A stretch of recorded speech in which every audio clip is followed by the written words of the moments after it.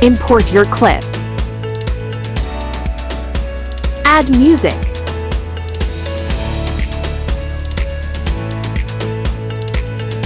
Select speed curve. Adjust curve according to music. Add beat.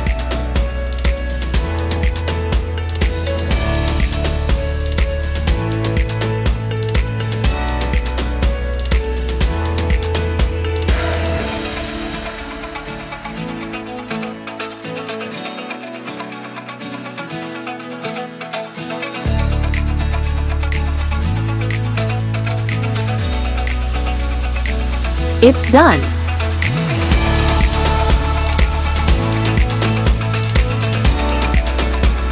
Try it on YouCut.